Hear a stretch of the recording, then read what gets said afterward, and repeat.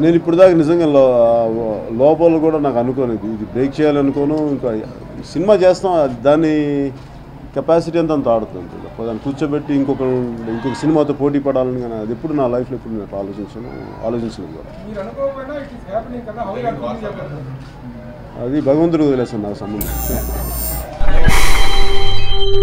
Música